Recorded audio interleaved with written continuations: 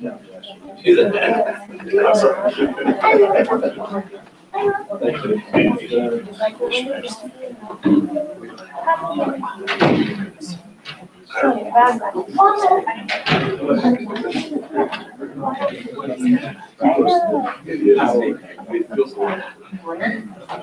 yeah.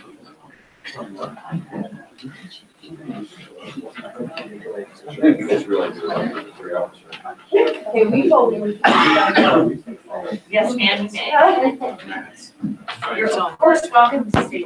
You certainly don't have to. Yeah, you might want to go back. Right. All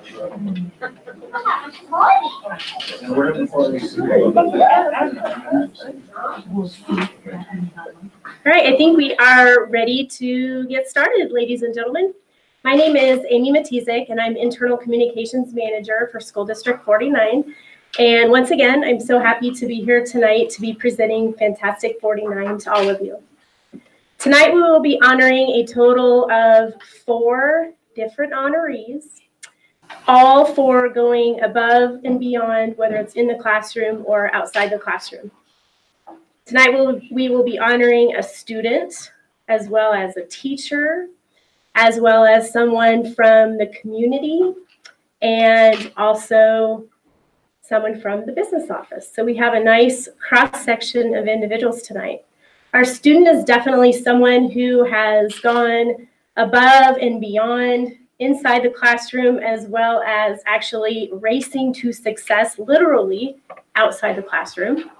The business office team member that we are going to honor is someone who's been a huge asset with the Business Plus transition, as well as someone who definitely portrays our, our cultural compass every day. And the teacher that we're going to be honoring tonight is someone who innovates within the classroom with her students, as well as inspires her fellow colleagues. And our community members tonight that we'll be honoring is someone who is truly making the grade by how often they are in our classroom volunteering for elementary students. So without further ado, we will get started. And we will kick it off by honoring a fifth grade student from Bennett Ranch Elementary School. And this young man, Justice Sokol, actually won a national quarter midgets race car competition last fall. But that's not the only reason that we're here to honor him today, because as his teacher will explain, he goes above and beyond in the classroom as well as with this extracurricular activity. So here today to help honor him is a teacher from Bennett Ranch, fifth grade teacher, Katie Polson.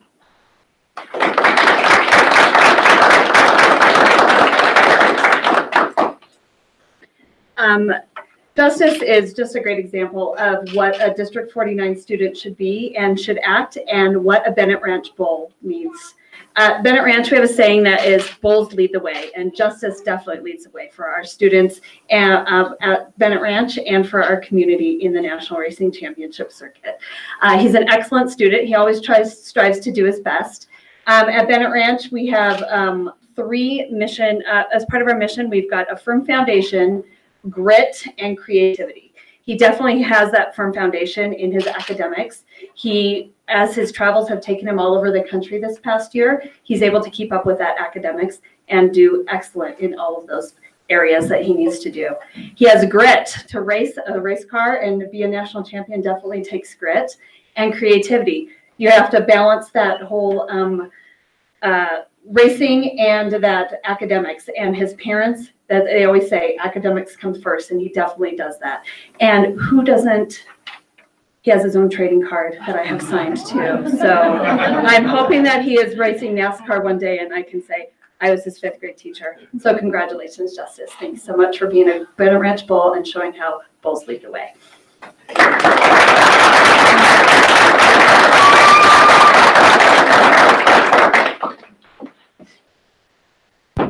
Um, just first off, I'd like to thank my teacher and um, just my parents for helping me race and just helping me on my journey to get to this point.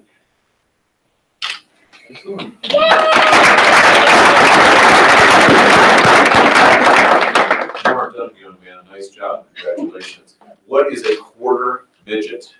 Explain what that is to me. Um, a quarter midget is a gas powered car that is um, that races on pavement and it goes about maybe 45 some odd miles an hour. I'm not sure exactly, but uh, And you are wearing your helmet, correct? yes. Yes, sir, along with other safety devices, fantastic. What's your favorite part? Um, my favorite part is just meeting new people and um, getting to experience new places at different times and just all the competition. Do you participate doing the maintenance on the vehicle? Sometimes I do, but it's really all my parents and uh, everyone else that works in the team. Just getting on the car early in the morning, late in the night. Keeps doing it and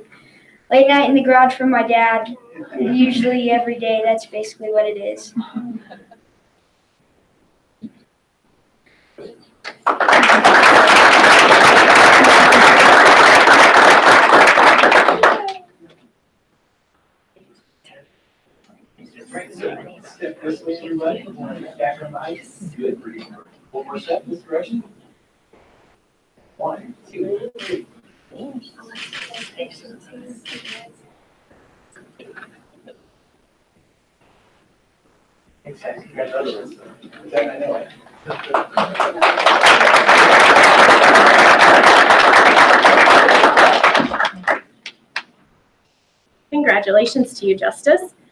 Our next honoree tonight comes from the business office, and this individual who is someone that not only steps up on big projects, like with the Business Plus transition, but also on a daily basis. When the nomination came in for her, um, the individual that wrote it up basically said, I wish we had more Michelle Garrett's. So here to help us honor Michelle Garrett tonight is the accounting group manager, Jody Poland.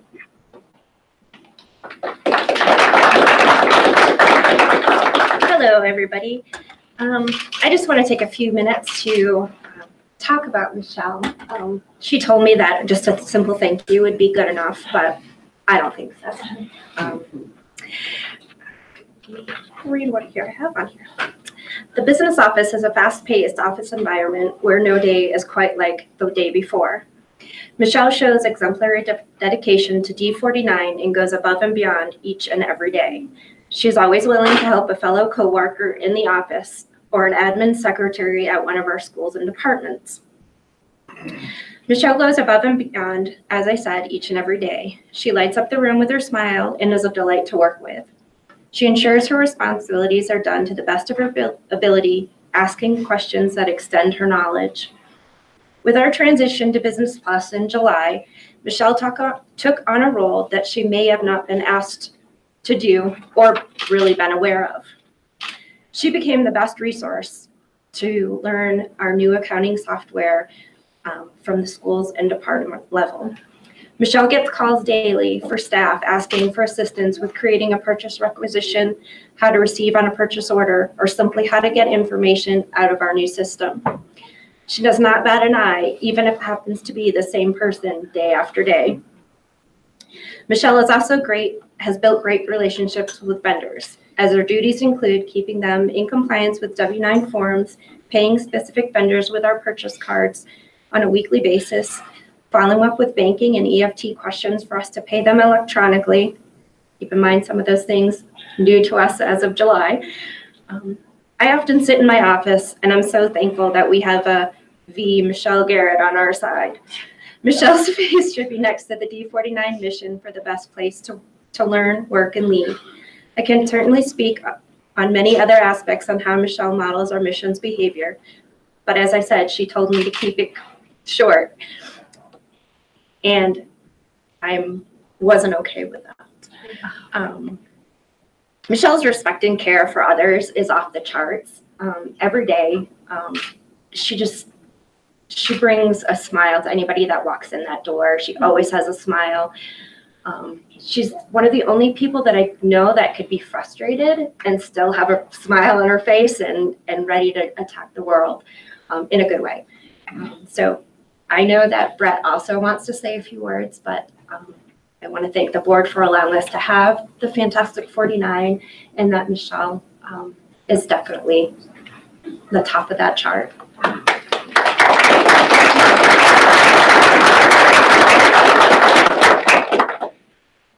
Michelle is, appreciate your effort. Michelle is just the greatest example of the cultural compass. And it was evidence as we did our, our Val learning tours this fall, because the way those were structured, we went around schools and departments, and they would have the opportunity to invite someone in from business office or operations, or whatever. And I think Michelle went to more learning tours than anyone else, uh, because everyone uh, was interacting with her values, uh, values her, appreciates her. She is, so. Thanks a lot, Michelle.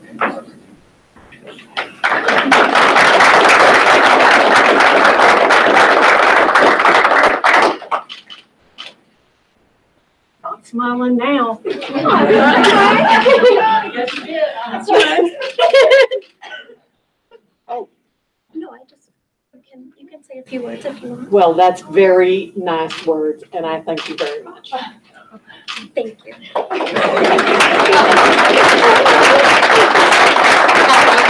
A woman of minimal words. Uh, so- That's right. Okay, so put put your picture next to the best, I mean, we can make room here. if you We're want. not doing that. No plus, we can do that. No. What inspires you, especially with the transition to Business Plus? That inspires you when people call going, Well, I can understand their frustration, and I try to put myself in their position and try to be, you know, find a solution. Or explain it where they understand it and, and reassure them that they're not the only one that is having that problem. And they're, it, it's not, um, they're not alone.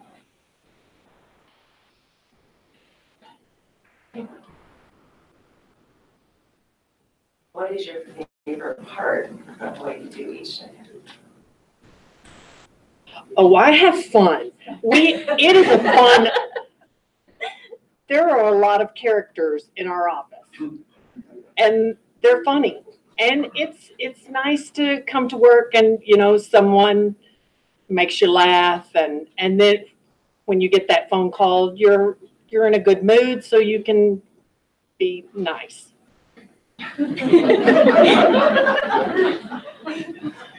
You'll also notice that there are many of your colleagues here who are here to recognize and honor you on, you know, on this type of night too. So I hope that emanates towards you from not just the leaders, but your colleagues. I do appreciate that. And I don't know what I'm gonna have to do to pay for that, but we'll work on it. You're wonderful. We're honored to have you. Thank you.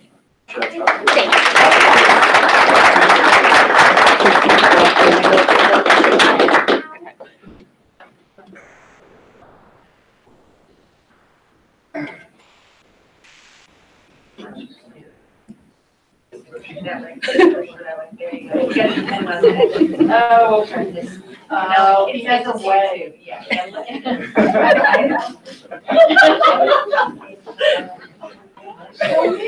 Ten more.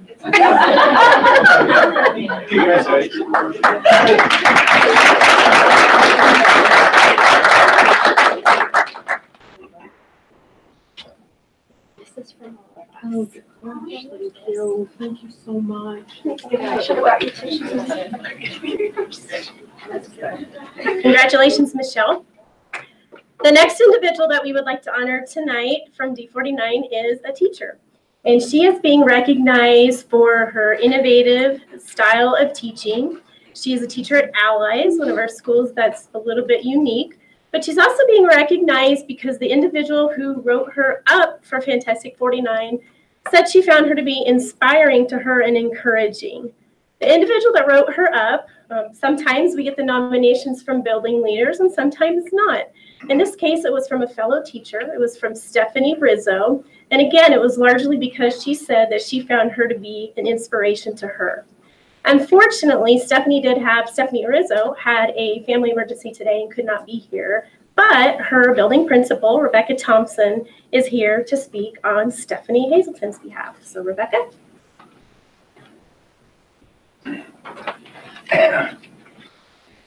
So I just wanted to reiterate for a moment that um, Stephanie Hazelton was nominated by Stephanie Rizzo, who is a regular education paraprofessional in Allies.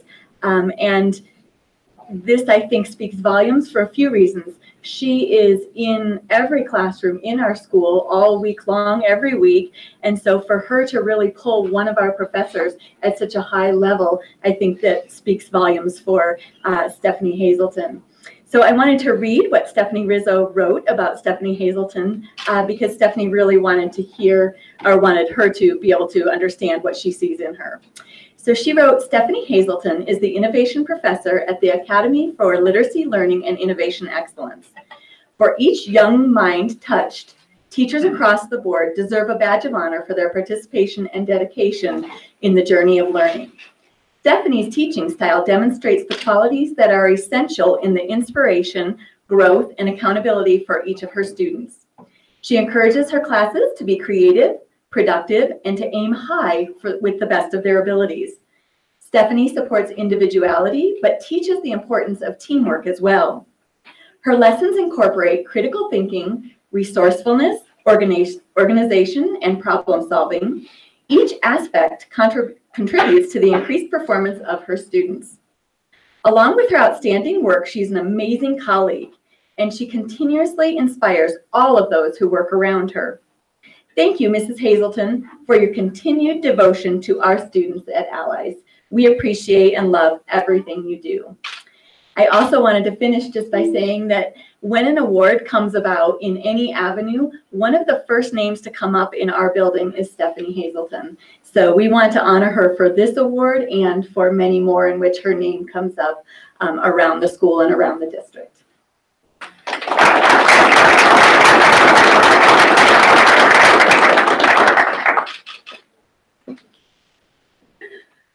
Well, thank you for the recognition, and um, it's a pleasure to work in District 49 and especially at Allies, where I've been given opportunity to be innovative. I love creating um, authentic learning experiences for my students and allowing them to meet, um, allowing all my lessons to meet their needs. And Mrs. Thompson and the staff at Allies are amazing and making it a great place to work. And um, their dedication is just remarkable, and I feel blessed to be a part of it. And then thanks to my family too for being a big support.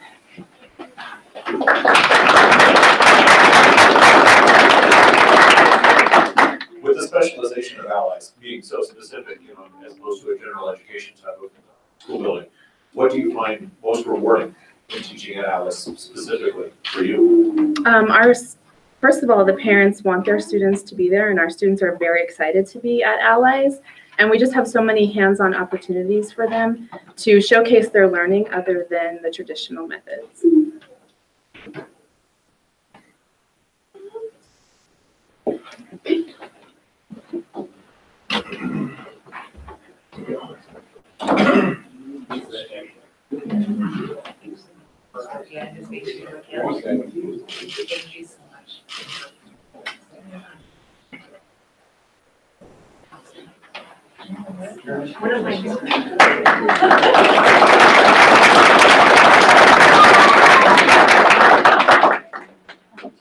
Our final honoree for tonight is a community member, Karen Hopper, and she simply lives in the neighborhood of Meridian Ranch Elementary School and volunteers there a lot.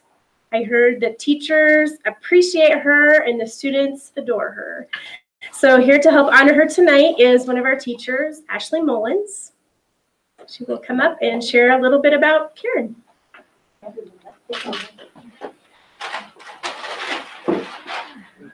So kindergarten style, we made a sign for her and had all of our kindergartners sign it. Um, I don't know how we got so lucky to have her live in our neighborhood and come volunteer at our school, but we are beyond blessed. She comes in every single day with a smile, and parents have asked who she is, other staff members have asked who she is. And I'm like, she's just a volunteer that comes in, but you are so much more than that. You are truly part of our team, and we adore you. She can't walk into my classroom without all of the kids jumping out of their seat and hugging her. And today was Valentine's Day. They have piles of Valentines for her, and she just belongs with us. And so we love you so much, and thank you for spending time with us and caring for our students.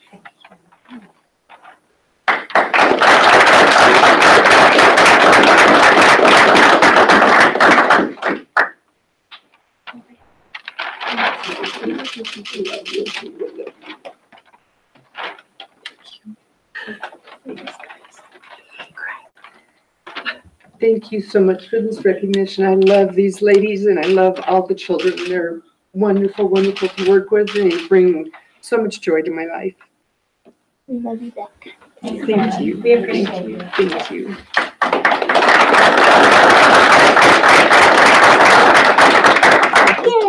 Well, you're one of the many volunteers that make our district happen. I want to say thank you for that, making it happen. You, without our volunteers, and my three fellow colleagues, four including Brian, are honored to be a, a part of the district with you. And Thank you for your work that you make happen. Thank you. How do we help other people to realize that they're able to help either in the classroom or serve on the board? What do you think are the keys to having people get involved in our public Oh, schools? gosh, I don't know. I don't know how, I know a lot of people have busy lives nowadays and they have a hard time coming in to volunteer. And I'm retired, so I thought I'd go, I love the kids, so I thought I'd go and put some time in at the school and I loved it even more than what I even imagined it would be. The staff is wonderful too. Not just the team of ladies that I work with, but the whole staff is awesome. They've been so welcoming. Spread the message in our neighborhood and let other folks who know about it. Because I think that's a part of what many of our kids, this, you know, high military community and a lot of mobility and so that extended family isn't there for many of us and for many of our kids. And so thank you for being a part of that extended family for our kids at Meridian Ranch, because I bet they're all seeing you as that. Thank you, thank you. You obviously enjoy it. Why do you, what, what makes you keep coming back? What, what what brings you most joy? I can see it. Well, the teachers, for one, this team of- of kindergarten teachers are amazing. And the kids are such a delight and they make me laugh all day long. And I just love them. I just really love them. Thank you. Uh-huh.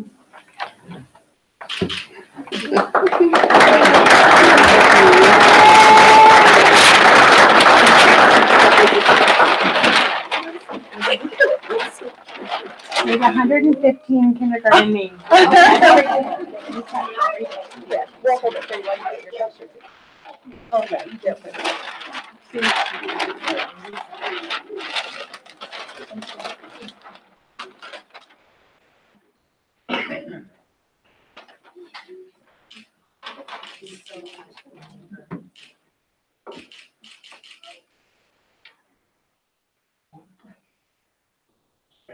You need a picture of the kindergarten pictures of her too? If you'd like, yeah. Come on in. Gather in. Either side.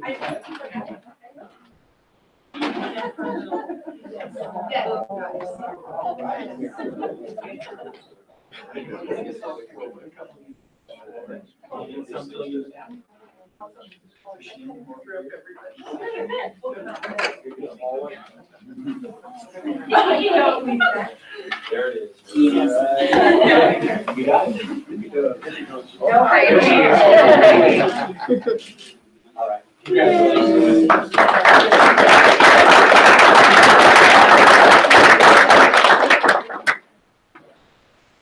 Congratulations, Karen, and congratulations to all of our honorees tonight. We thank you so much for helping make District 49 fantastic. And that concludes our Fantastic 49 presentation. Five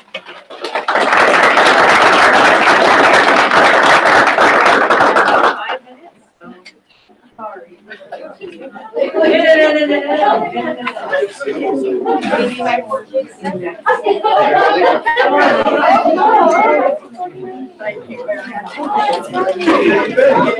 you been, John?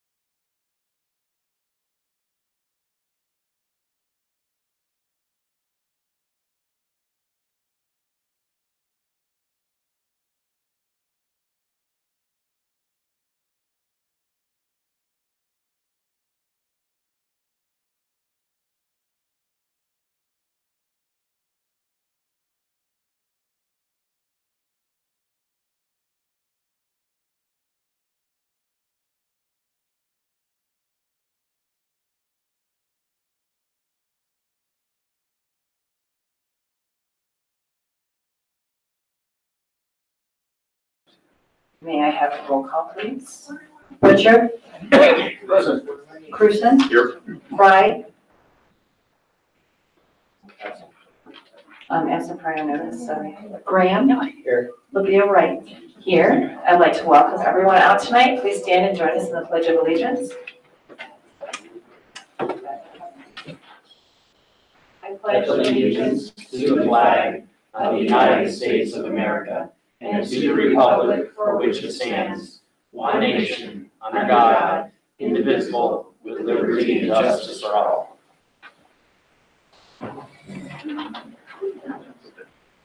We're on to item three oh, approval of agenda. May I have a motion, please? I move to approve the agenda. Second. It's been moved and seconded. Any discussion? Hearing none, a vote. Butcher? Aye. Cruson? Aye. Graham? Aye. LaVere-Wright?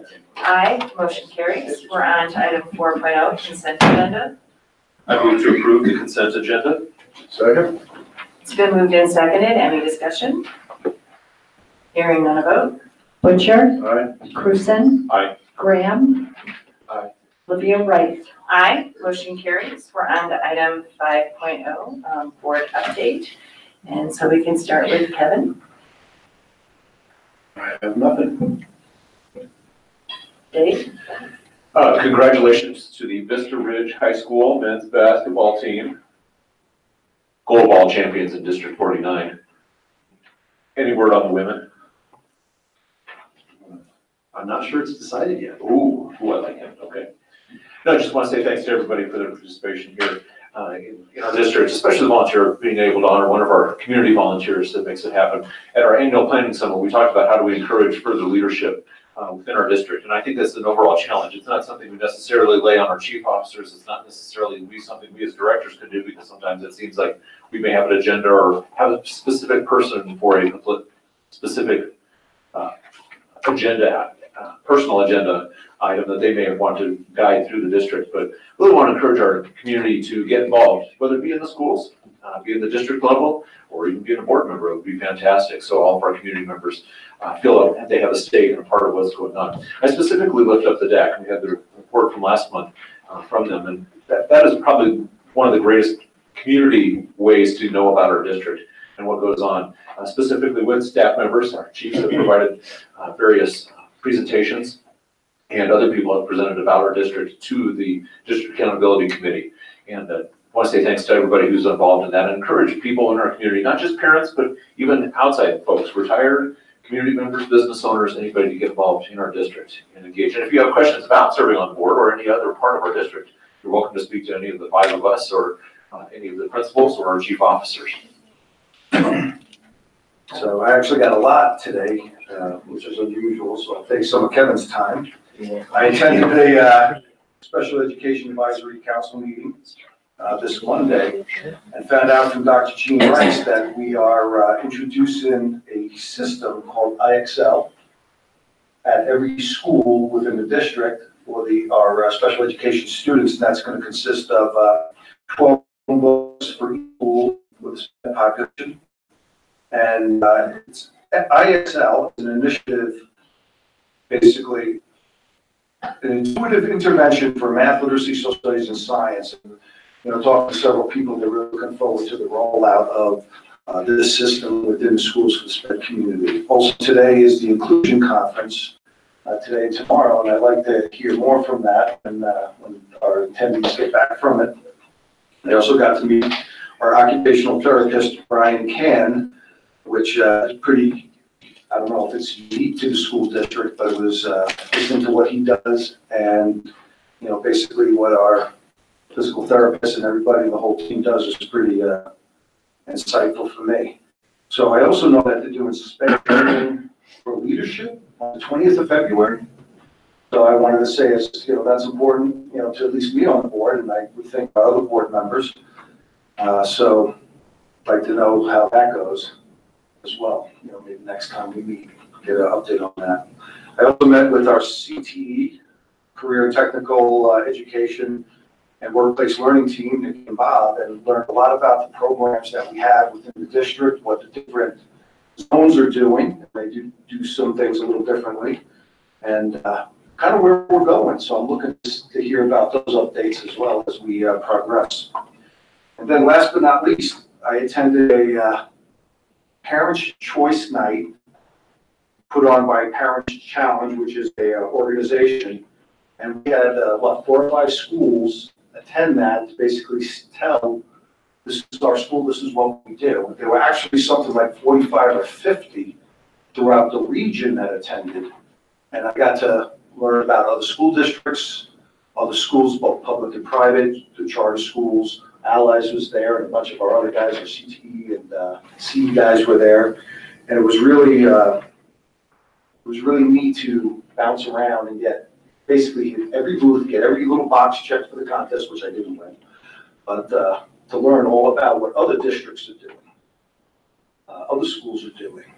And, uh, you know, seeing that really the region, you know, comes together as a conglomerate, you know, as they, as they work on, you know, what are the best solutions for the student populations within our region. So that was, uh, pretty nice to hear. I know you got some more later on that. And then, uh, for our social and emotional health issues that, uh, we constantly face year round, there was an organization there called the National Alliance on Mental Health, Mental Illness. They handed me a bunch of uh, ambassador posters and stuff like that, which I was going to introduce to the board. But I also found out that our schools are already doing this. They put up these posters so kids feel that they have a place to go when they are maybe afraid or maybe uncertain about something, and they have someone that they can talk to. And as we've talked about before, school systems are becoming, you know, basically support for the kids, you know, in our, at least our country, but definitely our region, where we're, we're providing services that were never provided when I was a kid. And, uh, It's good to see that D forty-nine and our region are forerunners on all of these issues. Like that.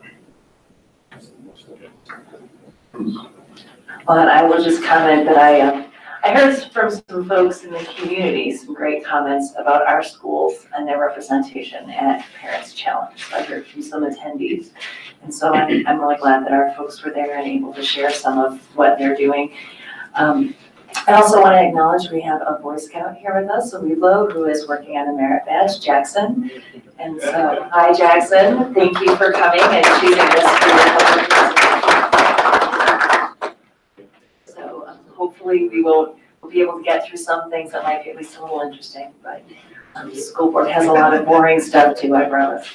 Um, so, and then I'd also like to introduce our student rep, um, for this meeting is Tyler Horton from Spring Studio. So he's representing our student board of representatives and he'll be able to give an update in a few minutes. But I wanted Jackson to know, um, that a part of that structure too is something that's rather unique to our school district. There are a few others in the state that do it. We actually have two students um, who represent the student body and are able to give us feedback about some of the decisions we're making to make sure that we have student voice when we make those decisions.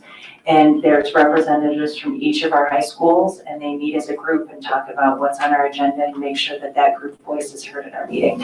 Uh, so that is something we've incorporated to make sure that we hear student voice too. And we've asked them to start listening to some of the younger kids as well. So according to our agenda, our chief officer update will be next and then our student board update. So um, for chief officers, uh, Mr. Almeida, did you want to start? Sure.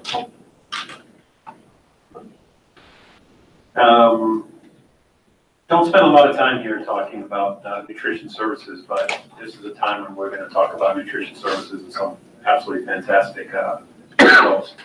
So every three to four years, we have an audit of nutrition services uh, from, uh, from the state.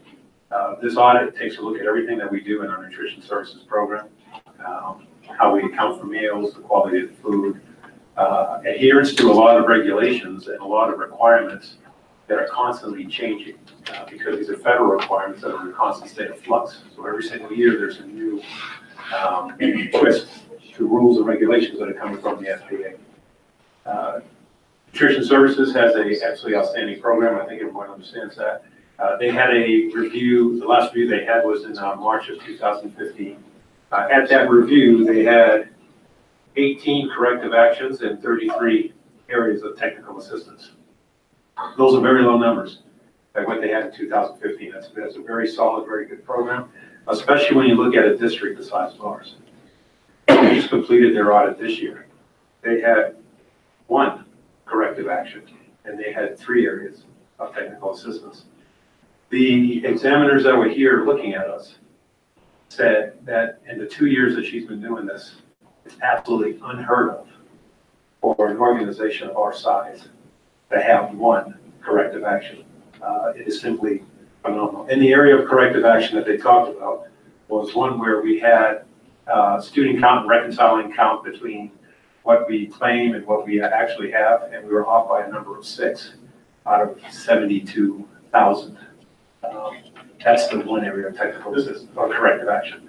Uh, To say that we are proud of that team and what they're doing, and it's very understated and it's very quiet across the district, because every single day they're serving meals and every single day they're, they're, they're, uh, they're providing for our students and making sure that they have healthy meals and, and that the food quality is good. But they're also keeping the district out of trouble because they're making sure that we're adhering to all the regulations and all the requirements that we have up there. So they deserve a tremendous amount of credit across the entire organization. I asked a group of kitchen managers, all of them, uh, what did they attribute their success to? And they pointed out to three key points. One was leadership within their, within the department. One was teamwork, and one was just the genuine care that all of these workers have and all these nutrition services technicians have for making sure that these kids are taken care of well. So they deserve a tremendous amount of recognition for, for that work because that's not something that you do in one day. This is something that you do sustained, day in and day out for months and months and weeks and years. So uh, we're very proud of what they've done and I want to make sure that everybody hears how proud we are of what they've done. And that's all I'll talk about tonight. Thank you. That, that is, that is fantastic stuff, and, and- and no surprise, we, you know, that's been a fantastic department for a long time. Uh, here in the district, and a great, a great example for us all to pursue, uh, performance excellence, really, is what that is. Is that our next fantastic forty-nine, is the whole operations? Nutrition Services, uh, we would have recognized it tonight, we already have a full agenda tonight, but they, they will, you'll be hearing about it at the next fantastic point. Attended the CASE conference last week, and, uh, was glad to see that we had several of our, of our team, uh, making presentations there to, uh, to continue to, um, show the rest of the state, you know, the good things that we're doing here at District forty-nine, so I was very, very proud of, of the team doing that. Hosted the area school business officials meeting, uh, yesterday, it was our, our once-a-year term for that. Uh, and as the legislative session is starting to pick up some speed, uh, we're having good involvement up there. Uh, I've had several good meetings, um, with some of the key players on school finance, and so I think we're, we, uh, we're being brought into the conversation really early on now, which is, uh, which is really helpful, and then this year we might get to play a little offense instead of always having to play defense, uh, like we've been doing, uh, the last few years, so that will be, uh, that'll be good, exciting, and I'm glad that Tom is here, Tom our auditor here to make a presentation to you later on about our, our results from seventeen eighteen. several of really exciting things happened over the last week. Uh, As a, as a former um, high school wrestler, I was really excited that Vista Ridge uh, senior Bella Washington was our, our district's first and our region's first state champion. Uh, This is the first year that we had a sanctioned state championship wrestling meet. And uh, so you will be seeing Bella in April, I believe, at Fantastic 49. So you'll get to thank her and congratulate her in person. But super tremendous, incredible achievement. And there can only be one first state champion in a weight class. So that's a pretty exciting uh, thing to have in our, in our school's history. Um, I, I also had the real privilege of traveling with uh, the leadership from the Falcon Zone, uh, along with Kathy Pickering, who is now in a central office role, and Melissa Riggs, who's in a central office ed tech role, as that team was recognized as one of seven uh, districts nationally for their work in, in something called digital convergence, which is using technology effectively to deliver modern, which means blended and tech-supported learning. Um, the Falcon Zone has, has been a pioneer, and sometimes pioneers get, uh, they, they, they take some blows, but they keep on coming.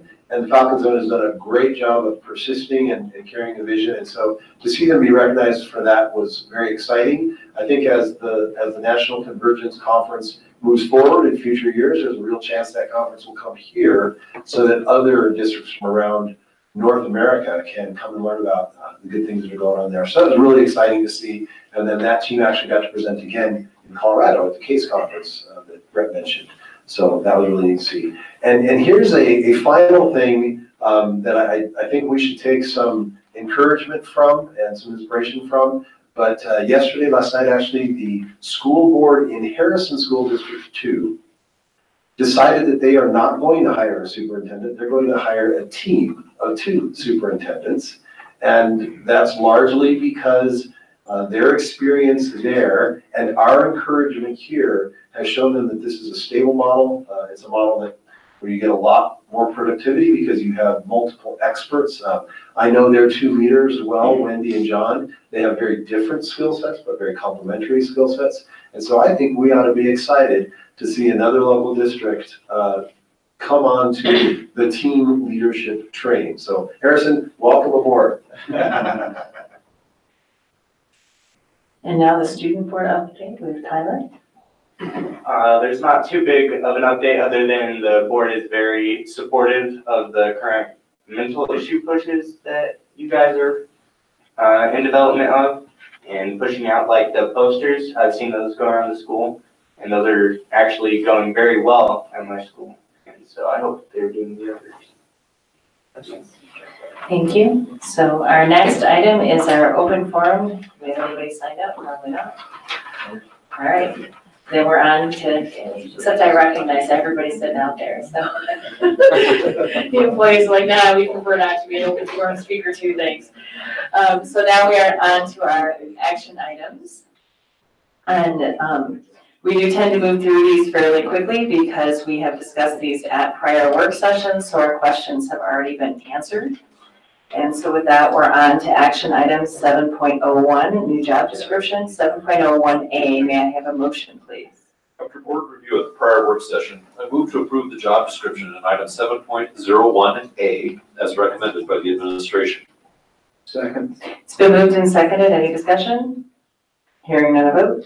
Butcher? Aye. Cruson? Aye. Graham? Aye. LaVere-Wright? Aye. Motion carries. We're on to item seven point oh one B, zone executive principal. May I have a motion, please? With board discussion in previous meetings, I move to approve the job description in item seven point zero one B as recommended by the administration. Second. It's been moved and seconded. Any discussion?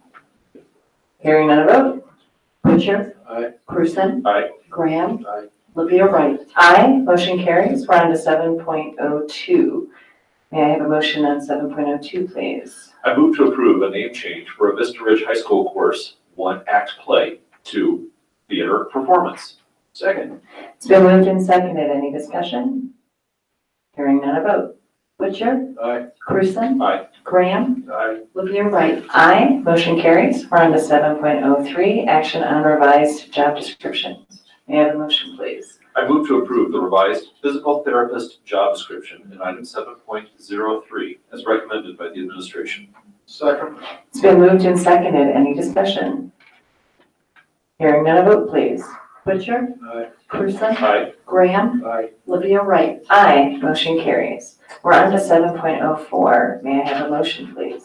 After a first read of the previous work session, I move to approve revisions to the five policies listed in item seven point zero four as recommended by the administration. Second. It's been moved and seconded. Any discussion?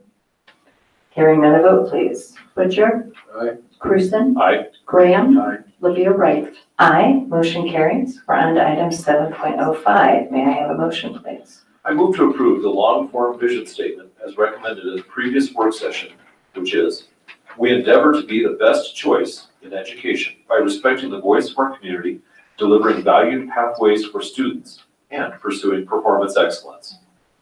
Second. It's been moved and second. Any discussion? Hearing none, of vote, please. Butcher? Aye. Cruson? Aye. Graham? Aye. LaVere-Wright. Aye, motion carries. For item seven point oh six, we had no items removed from the consent agenda. Item eight oh is all information items that are provided for the board's information but aren't included in discussion unless anyone had explicit questions. So did anybody have anything they need to ask about any of the information items that are not confidential? No. John, did you have anything? No? No? Okay, thank you. So then we are on to our discussion items. And our first discussion, nine point oh one, is our eagerly awaited financial audit results. Because we always know they do an amazing job. Sorry, I wasn't quite ready. Um, I'm used to going last. Um, You're pretty close. Uh, Jody Pullen, Accounting Group Manager. Um, I just want to thank the board for their patience. Um, I know we had an extension this year, um, with our transition to Business Plus. A lot of my focus was making sure the everyday bills were getting paid and money was coming in. So, um, I do appreciate your patience, patience on that. Um, but I'm going to turn the floor over to Tom, um, Sister. Yep, right, right in one. From Hoelting, um, from Hoelting and Company, um, to give you some audit results for us. Thank you very much. Happy to be here tonight to talk about the audit, especially to, uh, y- you know, just give kudos to the uh, staff here because it really is uh, quite a bit of their time to, uh, uh, as we keep them hopping along and providing the information that uh, we need to get through the audit. So uh, much appreciated. I passed, that- passed out just a, uh, a two-page summary for you there that I'm going to uh, uh, move along. And if you have, of course, any questions uh, specific to uh, the details of the audit, we can hit that as well. So first of all, we were on site for about a week in late May, uh, testing controls and compliance, and then we based our uh, based our audit plan uh, on the on the results of those tests. Performed the field work over a week towards the end of September. We found that the overall financial condition of the district is strong, and the financial statements are presented fairly in all material respects. Uh, So with that, we issued an unmodified or clean opinion as we have in past years. Uh, And once again, Brett, uh, Brett, Brett, Brett, Jody, and their staff, sorry, Brett, um, really, really did an excellent job getting everything going for us. Um, Item number two, um, I, I talk about this each year, but it's become increasingly important to talk about the distinction between the government-wide financial statements and the fund financial statements. So there, you have two, uh, two basic presentations within your financial statements. Uh, the fund statements reflect how you keep your books on a day-to-day basis. Uh, it's really the basis upon which you, uh, generally adopt your budgets and the reports that you receive at your, uh, at your monthly meetings. Uh, the government-wide statements combine all the funds into a single presentation, but they also bring in capital assets, debt, and other long-term liabilities. So we'll see with this first statement and on number three, the statement of net position, uh, what kind of difference that makes. Um, I'm going to highlight a few things here. Uh, cash and uh, cash and investments uh, were down about 40 million as uh, COP proceeds were utilized this year, so nothing unusual there. Uh, you had that money from the from the COPs from the previous year, and it was and that amount of it was spent. Other assets were up about 22 percent. That's mostly made up of grant receivables uh, being up about 782,000. Uh, liabilities were up 63 million, and uh, that's primarily that's almost all made up of pension liabilities increasing by 53 million, and the new uh, liability uh, sitting at 11 million. So that is, you, you know, a lot of the big distinction between the, the government-wide and the funds. You have this large pension liability, which is your portion of PERA's net pension liability included in the statements there, which is not included in your governmental funds. Uh, The uh, restricted net position, essentially your equity, was up about uh, 12%. And that's made up of an increase in debt service reserves as well as a uh, reclassification of food service balances into restricted. And then finally, the decrease in net position, almost all related to your, to the PERA liabilities. Uh, moving on to the, the general fund, so getting into a little bit more familiar territory.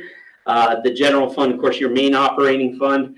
Uh, we see that, uh, your percentages, uh, of fund balance to expenditures, uh, similar, to last year. You have about seventy-one days of reserves that cover, covering that much of expenditures. So really a good position to be sitting in. If I could say one thing on there, Tom? Yes. This is, this is where we talked about the difference between general funds plural and the general Yes. fund. Okay. Yep, this is, this is general funds plural. This one is just the general fund. Okay. In this case. You- So when you're looking at the financial statements, you're looking at the general funds plural, as, as Brett sta- said. For this particular presentation, I just called out the general fund itself. But, or Fund 10 to make it a little more clear.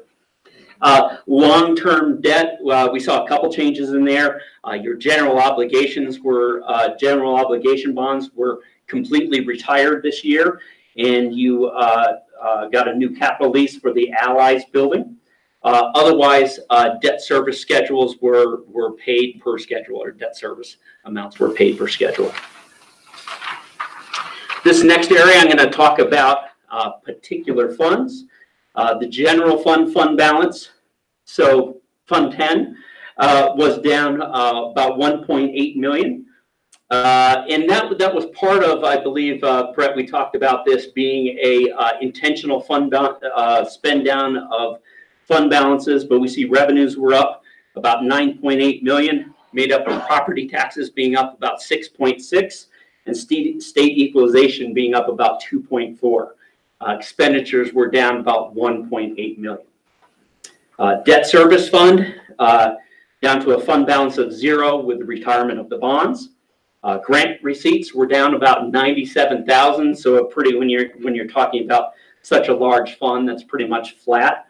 Uh, capital projects MLO fund balance uh, down about 45 million, and again that was remember I was talking about the 40 uh, 40 million in cash spent down that's in that fund.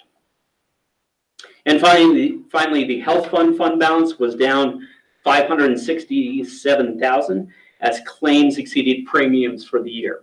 And, and again, that is a, that is a fund that goes up and down fairly regularly. So it's, it's one where you kind of have to track your, uh, your premiums to make sure that over time, it keeps pretty steady and you're not just, just dropping way down. But it's, it's expected that you'll have a, a good year and you'll have a bad year or a couple goods and a couple bads. And, and that's how that fund, uh, tends to go.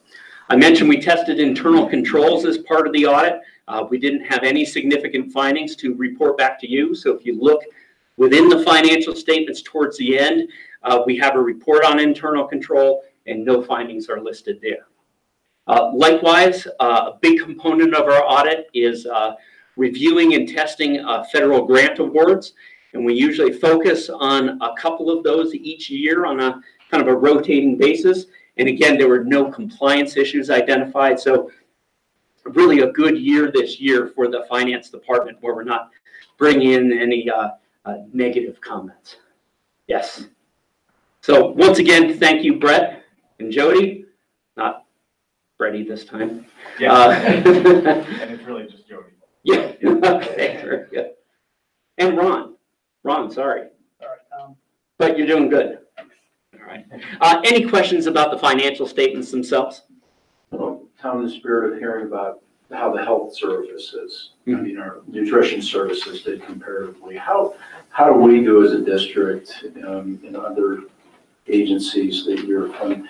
I mean, are we, are, you say we're clean, are we average, we above average? You know, you're, you're, How do we do with our numbers? Uh, very good, very good. Uh, First of all, your, uh, you know, the metrics themselves, if you will, when we're looking at the days of fund balance, uh, that's probably, you know, right about average. You've got a few that are running a bit higher, but then you've got some that are running, uh, pretty tight and pretty low, actually. So having seventy days of, of fund balance, you know, covering fund balance is very strong. But, but also, uh, operationally, uh, I think you do, you know, it, you do a very good job.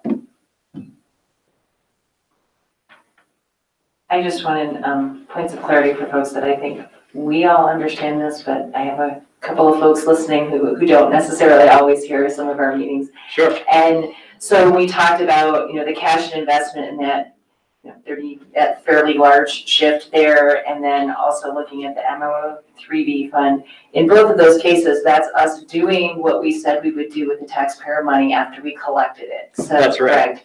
So that's the, the money that we're investing in building those schools and doing all of the repair projects around the building. So if we didn't see those drops, we'd be doing something wrong because we'd be collecting the money and not using it for what we told our taxpayers to do. Of course. Just when you look at the line, you know, someone who just sees a number and doesn't know what that money's for, um, might not understand that piece. And then that PERA, Yes. um, our portion of the PERA that makes it look like we are not financially responsible is nothing that we have control over. It's what the state is imposing on everybody who contributes to PERA because of how they managed PERA after they collected the money from us. Um, so we, we have to show it on our balance sheet because the state is requiring every public entity to, to show the part of how that pension fund um, isn't quite meeting what we need it to meet for everybody who contributes to it. But that isn't an area of poor management on the district's part or a lack of paying our own contributions. We've done everything we're supposed to do. This is the state's way of trying to pass the buck on the parts that they haven't necessarily done fairly. Um, so those giant numbers aren't, you know, those aren't reality for any of us. That's sort of a, the state trying to make their books look better by trying to pass it down to us. My own, you know, nasty interpretation of it probably, but Yeah. um, I think that's also an important distinction when people look at those, because if you don't know that, that background, Mhm. um, you again would think that we weren't being very good with your money when we really are. I'll, I'll add a couple things too. One on uh, the PERA liability uh, with some new uh, legislation that came out last June. Uh, That's going to drop uh, in the next year, so expect that to go down actually quite a bit. Um, And then, uh, yeah, you know, it's kind of funny with the, with the cash positions because I got to say it went up 68 million last year. Uh, But, but nobody needs an explanation of that. That's good news, right? Yeah, I appreciate you mentioning those things, Maria, uh, Marie, because if you, on that first page, you look two lines below the cash, and you see the increase in capital assets, and those are Mhm. totally materially connected, those two. Um, So appreciate you emphasizing that. And, and yeah, the pension liability thing, are- do we let the, do we let the state take that burden for that, or you blame it on GASB? or- Oh, we get to blame it on my profession. Oh, yeah. You know, they're making sure that us auditors stay in business and well employed.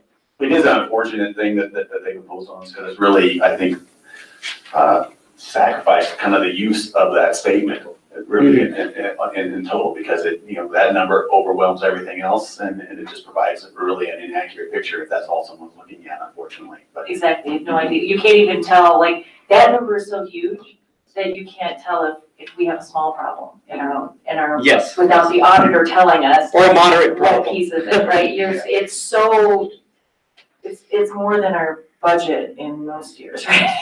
So, um, it's like, okay, yeah, we, we, we messed up two hundred percent of our budget, really. So, um, so it's, I think that makes it, it makes it completely useless. We can't use that number to tell anything about how our district is functioning at all, but now we're required to show it. Um, and that makes it hard when you have conversations with folks that haven't been following it. But thank you very much for You're all of your welcome. work. Did anyone else have anything? Yeah, just real quick, is there any suggestions that you have for us, Tom, in terms of, as a board, to keep an eye on, or especially for our constituents, anything that you're aware of? I mean, I know you've probably given suggestions to the uh, business office, but is there anything that we need to be aware of to help them function better or to let our taxpayers know what's going on? You know, I, I don't think so. I think it's a matter of, you know, continuing to uh, e- expect regular updates, to get, uh, you know, to receive reports that are not only correct, of course you expect that, but also readable and understandable, uh, so that when you're, when you're reviewing the finances, you, you don't want to be the one that's a little embarrassed to ask a question because it doesn't make sense. You know, so I know for myself, even though you wouldn't believe it from the, the thick financial statements. As much as I can, I usually are, am trying to make things as simple for non-financial people as possible. So that's, that's one thing I would recommend in any, any circumstance where that can happen, that's a good thing. And I want to lift up our business office for doing exactly that. Since I've been on the board, they've gotten steadily better than I'm able to understand them and, uh, and get it. I hope if I get it, our constituents will get it as well. Thank you, sir. Anything further? I do have a question for Jody. I just want some clarification because we're, our audit's a little bit late coming in this year. And you had said something about Business Plus and maybe this is me and when you need to share with Wayne, but I understand that we had a couple of our charters that we're waiting on that slowed us Yes. down a little bit. Yes, we are also waiting on charters. Okay. That But we're- they're all in and we're covered because we Yes. can't submit without the charters. in Correct. there. I can't finish up my pieces Mhm. to even submit to the state or to give Tom his numbers until I have all their numbers, so. So I wanted to pull the sword out of you. Thank you. I appreciate that. Um, and I want to thank Tom and his team, um, over the years working with a handful of different auditors. Um, sometimes you get scared of them. I don't, I don't, but, um, sometimes. And Tom has been very welcoming over the past, um, few years working with him. Um, that first year was like my first days of coming on board, so, um, I. Yeah, sure I was. Um, so it's a little bit different this year. I knew- actually knew what I was talking about when I could say, yeah, I know what those numbers are. Um, but I do appreciate his team and he he has a great team that he works brings to us, so thank you. Thank you. Thank you. Thanks, thanks, Tom. Anything further? Thank you. Okay, then with that, thank you very much. Thank you. And we are on to our next agenda item, which is the three B project update. Looks like Mr. Almeida will be doing that.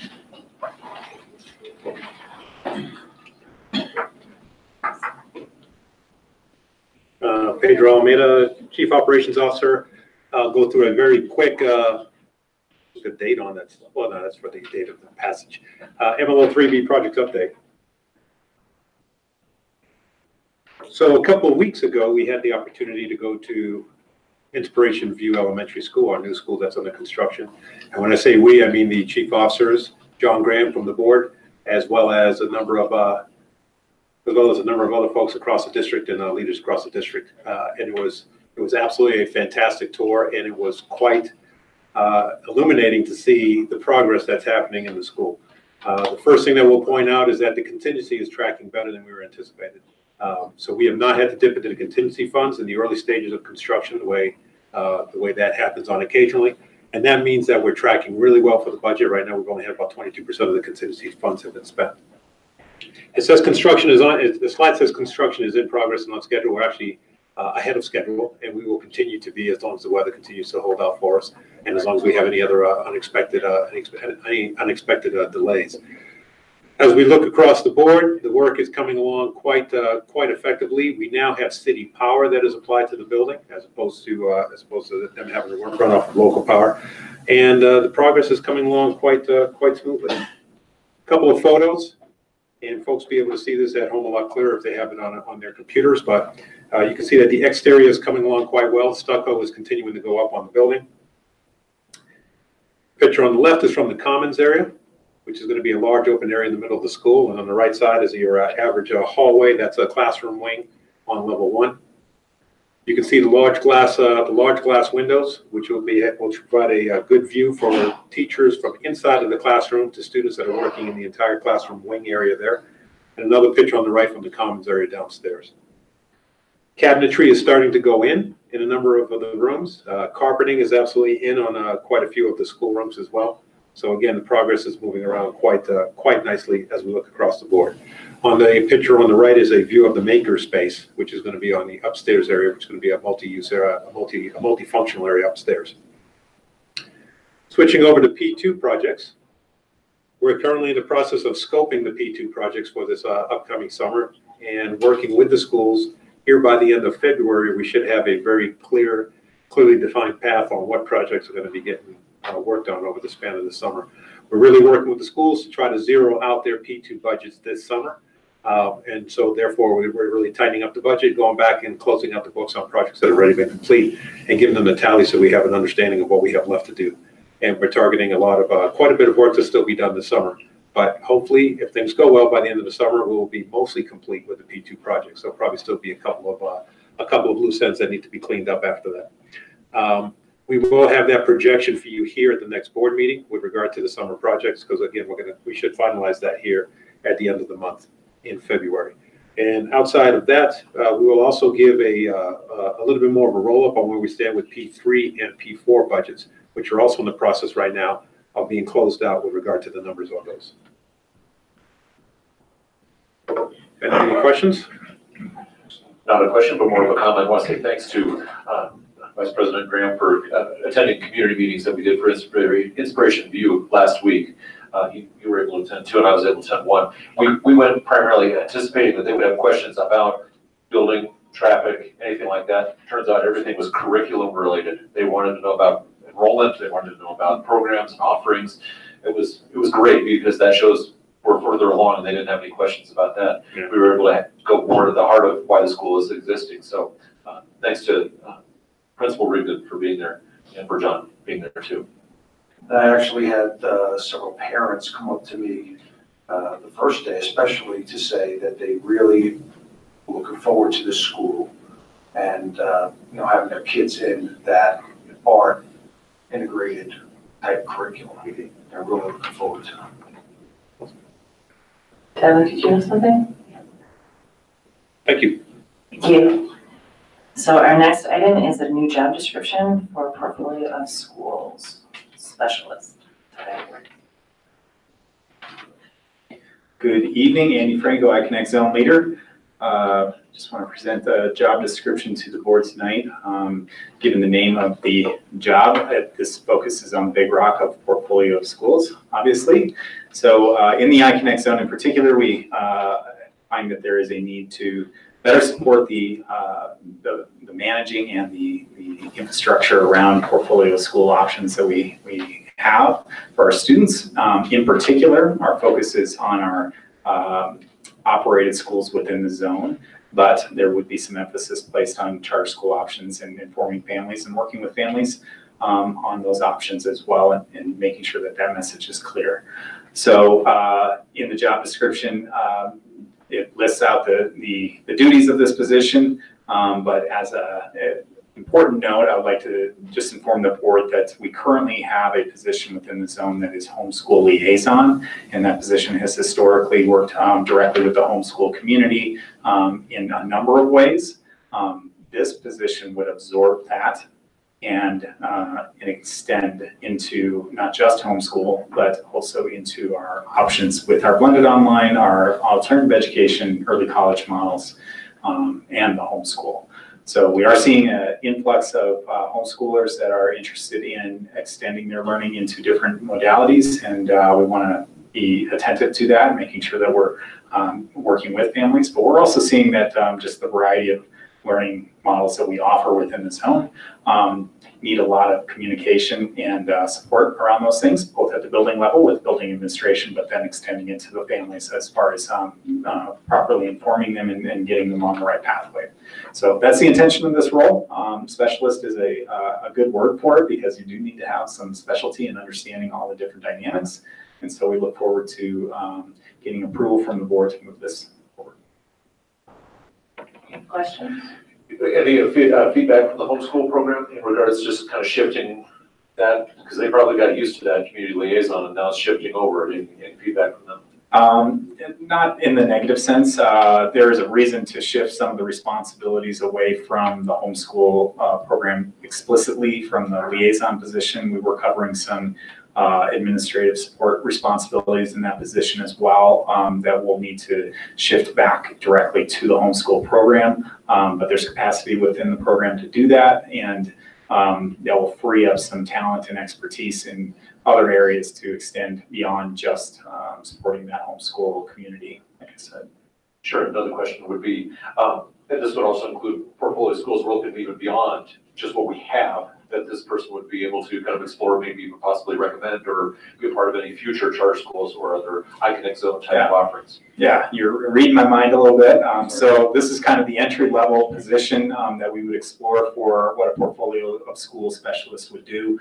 Um, but in particular, I think we have an opportunity to continue our learning um, by understanding what parents really want, what they're looking for, and then being very specific, um, even as far as uh, adopting some new strategies with our request for proposals as far as charter schools are concerned, but also when we're bringing new proposals to the board for operated programs and schools, we would have more uh, results and data to, to provide as evidence to why that would be a good decision. And so right now, we're stretched a little thin in the iConnect zone. We've got a lot going on uh, as far as operating schools. And uh, so doing some of the additional work that's needed to bring that information to the board in future tense is, uh, is needed in this position would help support that as well.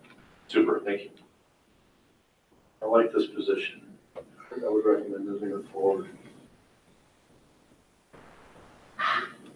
Any other further questions? So, uh, I understand the, uh, basically, this is gonna be the iConnect Zone spokesperson and knowledge subject matter expert on the portfolio of schools. Are they going to also be a program specialist? Are they gonna understand the programs in each of those schools? And say the pathways that each of those schools offer? Yeah. Is there a potential that this position kind of morphs into a uh, iConnect zone, or not maybe morphs, but assumes some responsibilities or their plans for a workplace learning specialist or something to that effect? Because I know we have one at the district level, one in uh, the uh, Sand Creek zone. Correct, Sand Creek And, uh, zone. Yep. And so I, I also see that if we're talking about portfolio schools and we're talking about the programs and the pathways, whether it's the next logical step, it seems to me is this person is also a workplace learning specialist as well, who has some of those duties because they're gonna have to say, you know, we have this culinary program here, this is what you can do, and, you know, maybe someone also helps to get those internships later on for those people in that program, or the construction program, things like that. Yeah, uh, I think a good example to maybe answer your question is, uh, we oftentimes hear from students in particular uh, at at Patriot High School and Springs Studio, uh, and even at PPAC, uh, a number of times will tell us, um, I wish I would have known about this earlier. That's a, that's an example that uh, we hear often, actually.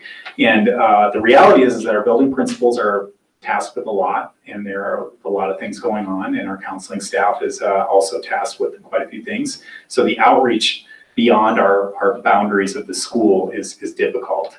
And so um, this isn't intended to be a program of itself, it is intended to be a specialist of our programs within the zone.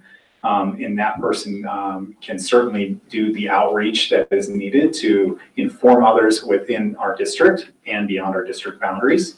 Because a lot of those students um, that use that term, I wish I would have known about this earlier, are residing in other areas and things like that and looking for a solution that maybe their district doesn't currently offer. So um, yes, there's absolutely some intention to do some outreach with this position. You know, it's funny that you bring that up, because as a parent who had kids attend D forty-nine, I wish I knew that earlier before I was on the board, because there were things I found out on the board that I really wish I knew as a parent, and I probably should have paid a little bit more attention. Yeah. Uh, I think we have a more robust communications team, thank you. And, uh, even at the building level and at the pathway level, program level, where I as a parent would now get that information that, I, you know, wasn't aware of, you know, in the past. So I think we're really moving in those directions. So it's uh, good to hear. Thank you. Okay, so, um, any further questions? Okay, so Kevin has already said move forward, Dave. Yes. So we have a a consensus to move forward, please put it on the next agenda for approval. Thank you, Mr. Franco. And our last item is election planning, which should only be, um, I think right now all we have on our plate is the, uh, um, us, the, the board seats. I, I'm a little tired, but Brett had the sheet prepared. Yeah, there's two of you who don't have to, and, yeah, you're definitely not having me, so, um, so I'm not sure what. If you can click it forward, is that the only slide we've got for this one, right? It's just that, okay. So I think all we kind of need to talk about now is as a reminder that we do have a board election upcoming. We have three director district seats that will be up for election. Um, so we need to start some outreach, um, and make sure people are aware of the availability of being able to run for those seats. And I think um, board members are willing to have conversations as well, but we need help identifying people who might be interested. And so if you're in one of those director districts and know of folks who might be interested in running for the seats, if you can let Donna know or connect with Donna, she can help us um, be able to um, have conversations with folks, help them kind of know what is it like to be on the board, what is their time commitment like, um, and kind of help them get a feel for it. It's better to start those conversations earlier rather than later, uh, because we won't, the paperwork won't be out until August. Um, or end of July, beginning of August is when all of the paperwork comes out to be able to try to be on the ballot. However, um, you know, it, it's much smarter to start those conversations now, and obviously if we're trying to recruit folks to run in summer when there's no school, it becomes even harder. The director district seats that will be on this ballot are director district two, three, and four. And one of those seats is complete, will be completely open, um, regardless of decisions of, of current board members, whether or not they're choosing to run. District two currently has no one representing it, I believe, right? District two is the empty seat that will be up. And then um, districts three and four are also on the ballot. And so if you're folks who reside in that area or staff members who work in those um, zones, if you can help starting to have those conversations with people who are um, involved in your school and in our community so that we can uh, have some quality candidates, that would be awesome. Does anybody have more to add? Mr. Nanakiro, are the zone district, the district zone maps for the elections, are they on the school district's website where can people can find that? Uh, they should, they ought to be. Okay. They are, I'm looking at them right now. That was just to encourage people that that information's there, and you can look at the map, see where you live, see what zone you're in, so I actually, yeah, it just, that was a plug in the form of a question. Yeah. So I, um, as far as that goes, and then I'd like to encourage all the introverts out there to run. I'm living proof that you don't have to talk to be on school. The more introverts we get, the shorter the meetings. All right, anything further? Okay, does anybody have anything else they want to add to that discussion for now? Okay, then we are on to other business. I do have one bit of other business, if I may, uh, Ms. President. Um, Just would like to, I connected with Adam in Communications uh, to develop a thank you card that would just be from the board, say D forty-nine, and then from the board or something like that. I haven't seen it yet, but was just wondering if it would be appropriate for us to uh, spend about fifty-three dollars and forty-one cents on that. And it would be available for all five board members to use as a thank you note, and we write various notes to different people throughout the district for their participation, that just kind of is an extra touch, so I thought I'd ask if that would be acceptable. So that's something we, we need feedback from folks on as an expenditure from board budget. I will say past practice has been to use district stationery. Um, so we have, there are, there are note cards that say District forty-nine and just don't specifically say a note from a board member or something. Um, and a part of the reason behind that was to be consistent and also, um, because we don't go through very much of it. And so it's more often than not that as the district changes what their, um, what our images are that we're using on our things, if we're using district stationery, it gets updated more. Just are about to get it for me in a second. Then But kind of, that's up to you guys. kind um, of so- just, you know, for me, using the district letterhead basically as a letter of appreciation, if that's what a board member decides to do, I think that's appropriate. So you would be Not okay with using necessarily, yeah. district rather than a specific board member? Not necessarily an extra, you know, card, but, a, you know, just a letterhead. Yeah. And that was, keeps the cost. The reason I brought it up was not to go overboard. I'm not buying, you know, like this to print five thousand versions of this. It's just a simple, small number. It would be available for all five board members, not necessarily just myself. Kevin, do you have a preference of having board-specific stationery or using district? I have no preference.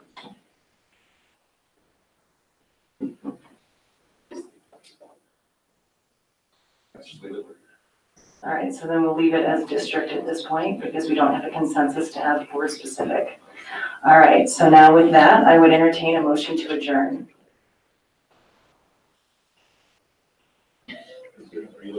I'm needing some, well, it's up to you guys, we can sit until I have a motion, because I can't make it, guys.